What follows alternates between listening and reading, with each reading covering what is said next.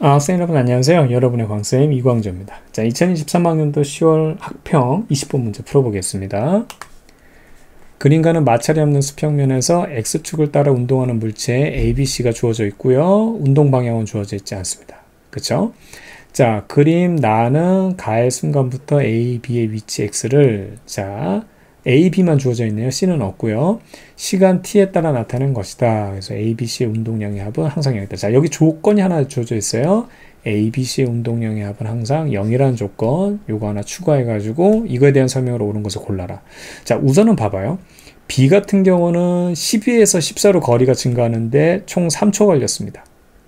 그쵸? 그럼 얘는 플러스 이쪽 방향 플러스로 잡으면 3분의 2라는 속력으로 얘는 운동하고 있었어요.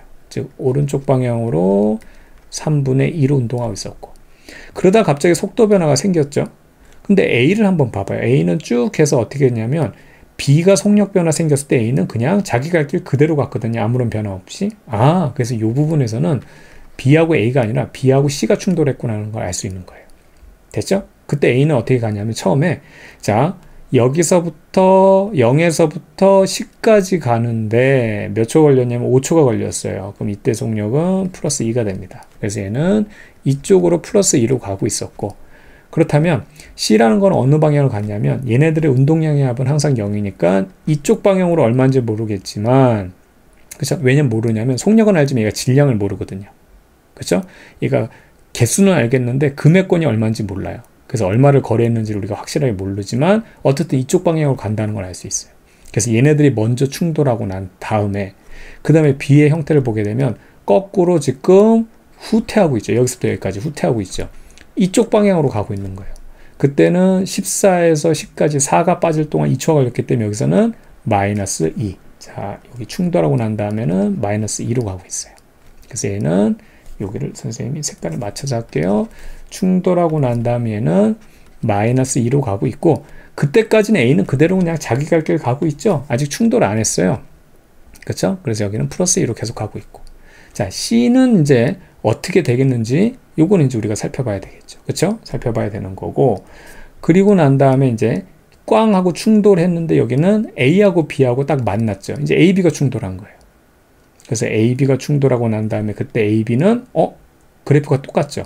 그렇죠? 속력 이 쉽게 말하면 시간에 따른 이동 거리가 똑같기 때문에 속력이 똑같아서 이게 한 덩어리로 가는 건데 자 2초 동안에 A, B는 얼만큼 이만큼 거리가 늘었기 때문에 이때는 어떻게 오른쪽 방향으로 어떻게 1의 속력으로 가게 되는 거예요.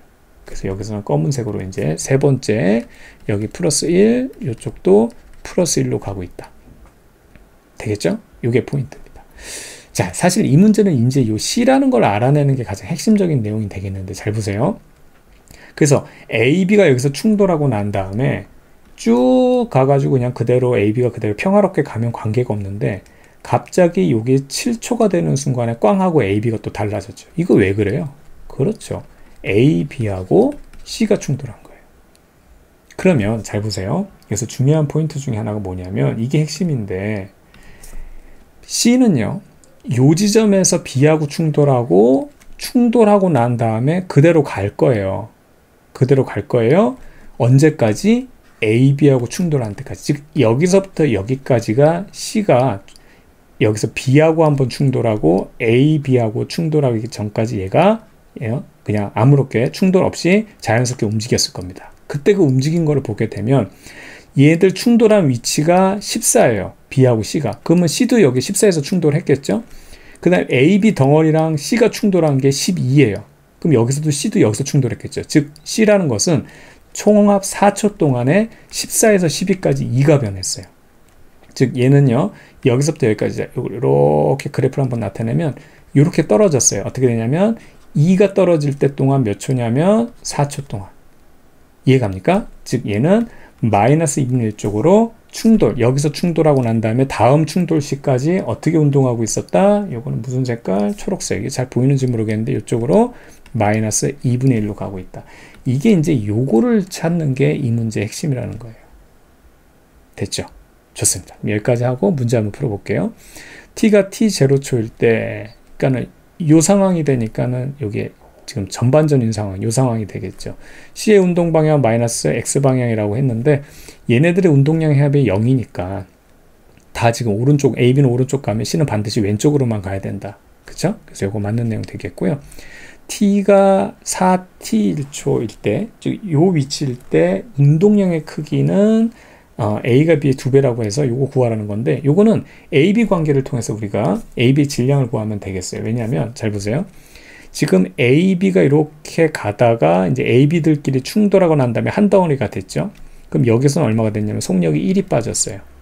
그 다음에 b는, 자, a는 1이 빠졌고, b는 2 죽여주고 1 더니까 여기는 3이 어, 더 이게 변화가 생긴 겁니다. 항상 속력 변환 선생님이 개수라고 했죠. 금액권이 질량, 그 다음에 그 개수가 뭐냐면 속력 변화인데 얘네들이 서로 충돌할 때 주고받은 거래 금액은 똑같아요. 서로 접선해 가지고 돈 주고 받고 그 다음에 이제 헤어지는 거거든요. 그렇죠? 그럼 봐봐요. 얘는 한 장이고 얘는 세 장 거래했으면 얘는 얼마짜리? 3만 원짜리를 한 장 거래한 거고 그럼 얘는 어떻게 되냐면 만 원짜리를 세 장 받아서 서로 주고받은 충격량 거래 금액은 똑같다 이거예요. 그래서 얘 질량이 3m이면 얘는 m이다 이 얘기입니다. 그때 4t 초일 때니까는 얘네들의 속력이 2하고 2일 때거든요. AB가. 그러면 A의 운동량은 6m. 그렇죠? 3m에다 2 곱하면 6m이 되겠고 크기만 얘기하니까 방향 신경 쓰지 말고 m짜리가니까 얘는 2m이니까 2배가 아니라 3배가 돼야 되겠죠. 됐죠? 자, 그 다음에 C, 이제 C의 질량만 구하면 되는 거예요. B의 8배라고 돼 있는데, 이거는 운동량의 합이 전체 0이라는 거 요거 활용하면 되겠죠. 왜냐면 여기서 이제 모든 걸 다 끝내놨으니까. 잘 보세요. 얘 운동량 얼마냐면 플러스 6m입니다. 얘 운동량은 마이너스 2m이에요. 더하기 C를 한 게 0이 되면 되니까 요게 4m이 되면 되는 건데 이때 속력이 2분의 1이거든요. 뭐 마이너스 있지만 방향 신경 쓰지 말고 그럼 질량은 얼마가 되어야 되냐면 요게 자자자자자자 요게 4m이 돼야 되는데 요 질량 네모 여기 네모라고 하지 말고 요게 이제 4m이 되면 되니까 세모라는 거 질량에다가 마이너스 2분의 1 곱해준 게 4m이 되면 되니까 이거 얼마? 8m이 되면 되겠죠. 그렇죠? 그래서 m이 지금 b가 이제 m이니까 요거는 c는 8m이 돼야 된다. 그래서 c가 b 8배다. 예, 요거 맞는 내용이 되는 거죠. 됐죠? 그래서 정답은 기억과 디귿 이렇게 체크하면 되겠습니다. 자 여기까지 너무 고생 많았고요. 선생님 이제 수능 강의에서 만나도록 할게요. 수고 많았습니다.